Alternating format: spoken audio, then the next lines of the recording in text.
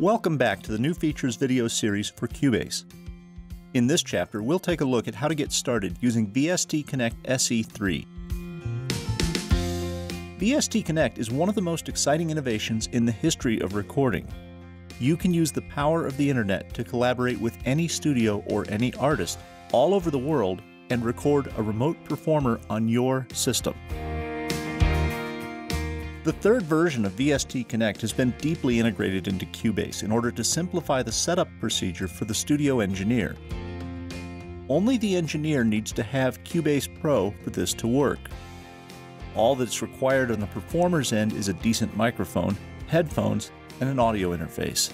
The artist doesn't even need a DAW, but simply downloads and installs the freely available VST Connect Performer application from the Steinberg website. To set up a VST Connect session, all you have to do is select Create VST Connect from the new VST Connect menu. This one click will create an input channel with the VST Connect plugin.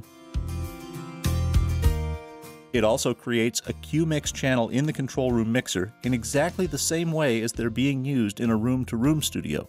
It also automatically installs the VST Connect Q plugin in that channel and creates an audio track in the arrangement which is readily set up to record and chat with the remote artist. The only thing that's left to do, if you haven't done so already, is to create a TalkBack setup. You only have to do this once, and you can use the built-in Create TalkBack function. Open VST connections and make sure your TalkBack mic is routed correctly.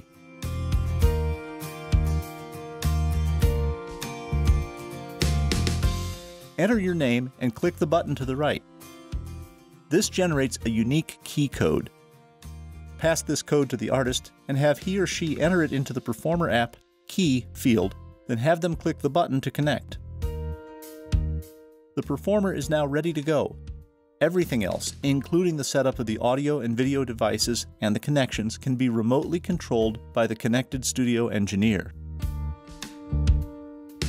The VST Connect SE controls include talkback functions on the top left, status displays in the center, and connection controls in the top right. The main area shows performer video, but you can also open the video in an extra window and resize it as you like.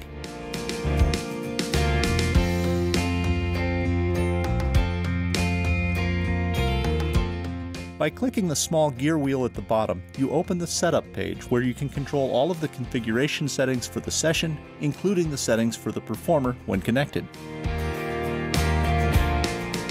To the right is the monitor mixer where you can configure what the performer will hear. Now let's see this in action.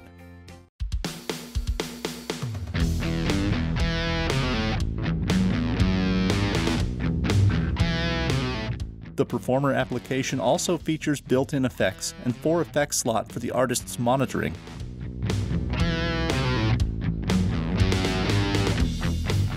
These effects are not recorded in Cubase, they're only audible to the artist.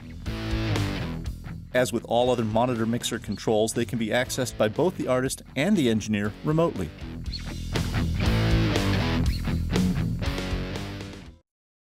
And you can now record MIDI over VST Connect as well as audio.